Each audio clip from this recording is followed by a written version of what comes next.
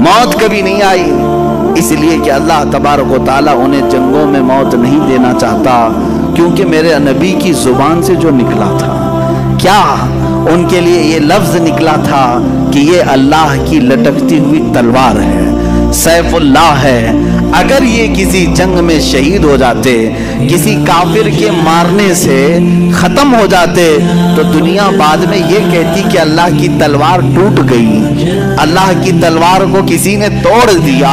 इसीलिए मेरे मौला ने उस अल्लाह की तलवार को सही सलामत रखा और आज तक वो तलवार अपनी कब्र में सही सलामत ही है। सही सलामत ही है। ये इस बात का भी इशारा है कि रसूलुल्लाह ने जिसे अल्लाह की तलवार कहा, वो टूटी नहीं है, वो कभी भी फिर से वापस उम्मत में बेदार हो सकती है। हो सकती है।